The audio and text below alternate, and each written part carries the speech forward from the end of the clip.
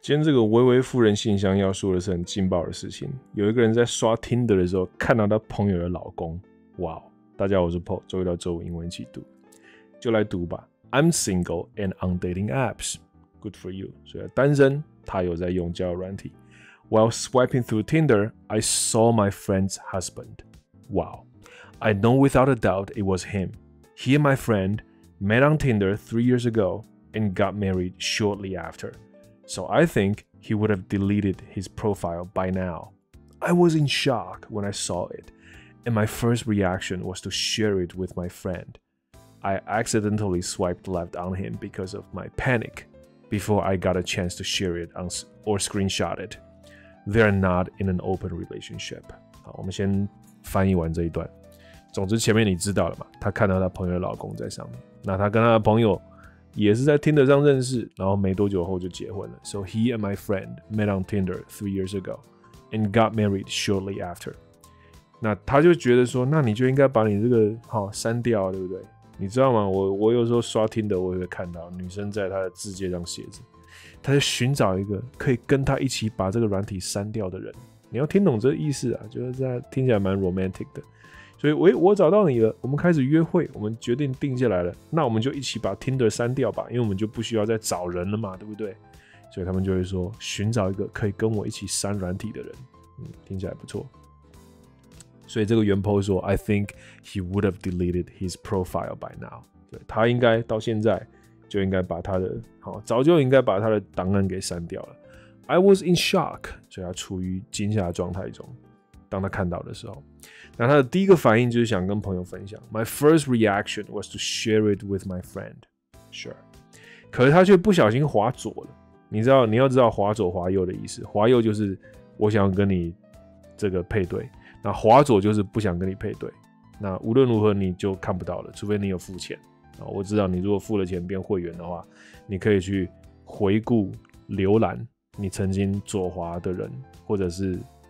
右滑过，然后你想再多看他一下，好像也可以。我不晓得，我是没有付钱的，对我 cheap。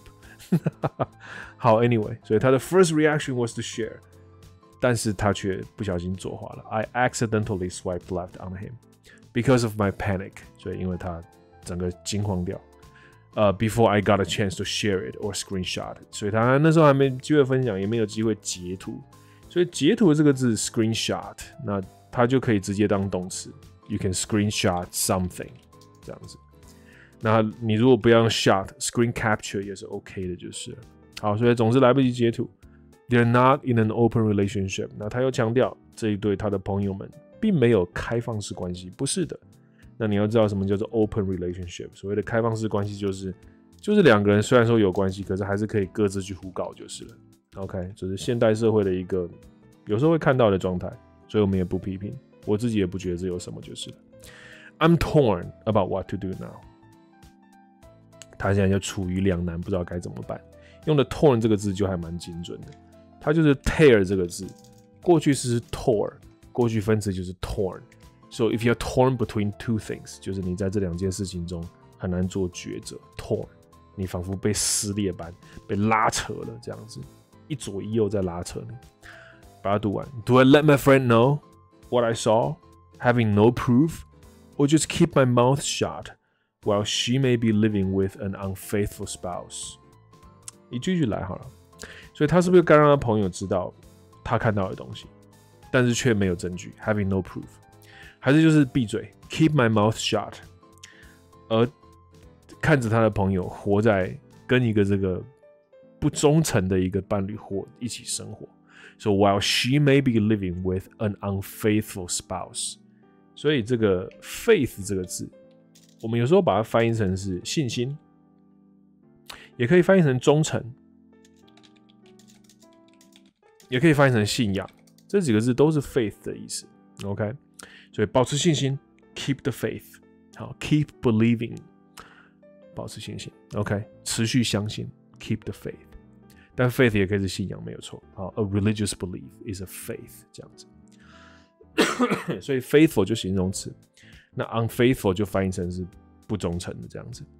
那你如果说要讲不忠诚，除了 unfaithful 这个字之外，还有另外一个字也算是很比较蛮常看到，就是 inf infidelity。OK。infidel，那 infidel 又不见得讲到婚姻了。如果讲 infidel，也可以被理解为就是不信你这个宗教的异教徒。这尤其会看到像穆斯林来称呼别的宗教的人，是吧？我如果是穆斯林，你是基督徒，我就会说你是 infidel，因为他们你知道一神教嘛，所以他们认为他们的神才是真正唯一独一一个的。那但我们据我们了解，这些源自中东的宗教的神根本都同一个就是了。但总之，infidel 就是说你要是异教徒了这样。所以像是穆斯林看到我们，如果说看到我们亚洲人多半是佛教的话。那佛教对他们来说就是一种 infidel，就是了。好，anyway，回来这里，所以他看到他的朋友跟一个 unfaithful spouse 活在一起啊，spouse 就是他的伴侣。I see this friend maybe once a month, but she and I were best friends in high school, and I care for her deeply。所以他一个月会看到一次这个朋友，一个月聚会一次。但他跟他在高中是最好的朋友，they were besties，OK，、okay? 然后他就很关心他。I have never had a bad interaction with her husband, but now I am suspicious of his character。所以他是以前是没有跟这个朋友的老公有过什么不好的互动 So I have never had a bad interaction with her husband。但现在呢，他就怀疑起他的人格来了。好，I am suspicious of his character. I want to hope he just never got around to deleting his profile. But three years is a long time for it to still exist，呀，所以他就只是希望，他希望什么呢？他希望这个人只是，哎，没那个时间，没那个功夫来去删除档案。好，He just never got around to deleting his profile。这个里面有个片语我们要抓起来，OK，就是 get around to 后面却不是原形动词，所以 get around to 加 V-I-N-G 才是正确的。这是一个很固定的用法，OK，就是我有这个时间，我有这个余力来做一件什么事，所以这句话其实常常是否定的，因为我们讲的常常是没有时间、没有余力做什么事，听懂我意思哈？否定的。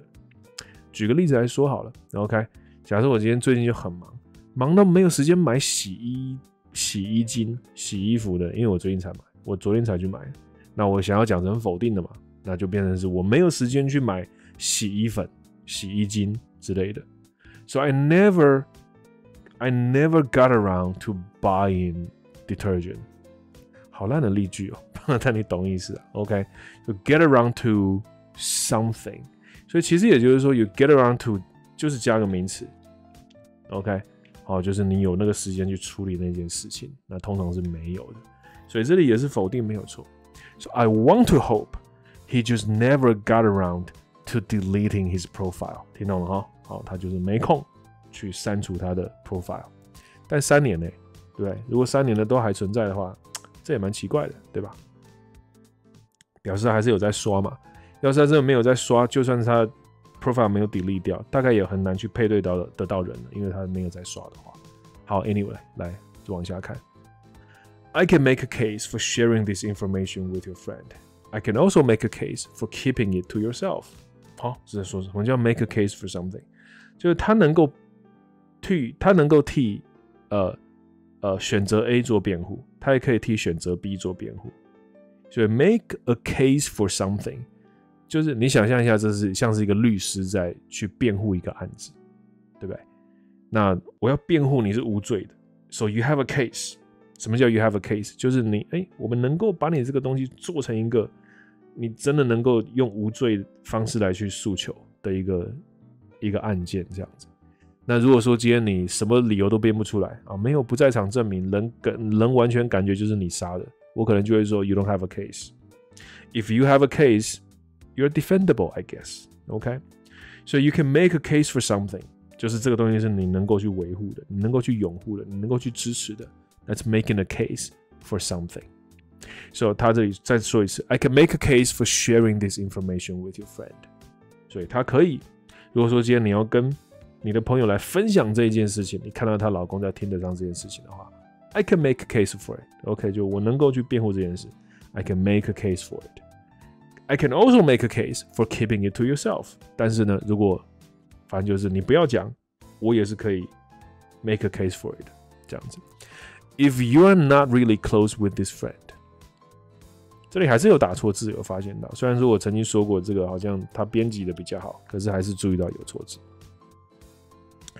If you're not really close with this friend, if those monthly visits are small talk and a coffee, I keep the information to yourself. 好，所以那些他刚刚说过一个月会见一次嘛，所以这个每个月的相聚，如果今天只是一些 small talk 或者就喝个咖啡的话，那就别讲。 Keep the information to yourself. You don't know enough about this woman's marriage to get involved. 所以你对她的婚姻是不够了解的，你没有了解到你应该可以插入一脚这样子。OK，这个话好有道理哦，说不定他们真的是开放式关系，你也不知道啊，对不对？说不定是这个你这一位每个月见一次的朋友，以前的高中最好的朋友，现在已经变成一个喜欢上她老公去外面找女人，回到家然后他们三个一起玩的状态。You never know, right? So you don't know enough about this woman's marriage to get involved. You can't assume anything about his motives or her interests. Maybe she's on Tinder too. Oh yeah, that's true. 所以你不能够去假定 anything about his motives or her interests。好，你不能假设任何有关于他的动机啊，男生的动机以及女生的兴趣。好，你不能假设任何事情。那或许他也在 Tinder 啊，对吧 ？But if you are very close with her，啊，他讲另外一个可能性。他刚刚讲第一个可能是你跟他如果还是一个月见一次，可能没有很熟。而现在讲另外一个可能性，如果你跟他真的很好，if you are very close with her。and you do share intimate things about your lives, you can consider telling her the way you told us. 你就可以考虑一下，告诉她，就像你们告诉我，就像你告诉我们一样。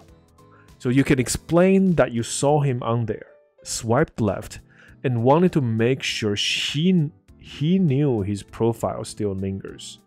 Okay, it doesn't have to sound like the end of the world. Okay，所以这也不错。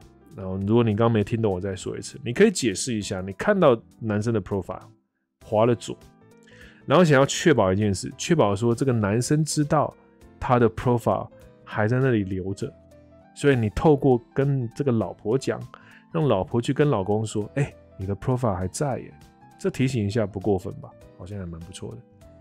所以不需要听起来像是世界末日。It doesn't have to sound like the end of the world. So you don't have to make a decision right this second, by the way. If you see her a few more times, perhaps without him, maybe you'll feel the urge or forget or disclose. Forget to disclose 吧。好，那没事，好了，没关系。所以呃， 不太确定他这里想要讲的是哪一个，但无所谓。来，我们就把最后这句这段翻译一下下，所以你不用现在就做决定，OK？啊，你可以再看他多看个几个月啊，每个月再多看一次啊，看一下看一下看一下，然后是没有她老公的存在的时候，那你感受一下你跟他之间的这个 vibe 这样子，所以你或许就会感受到更股一个很强烈的一个 urge 哦，一个冲动来去忘了这件事情，也有可能你就会想要去想要讲的这样，所以我我我在看这里的 or 到底在 or 什么东西。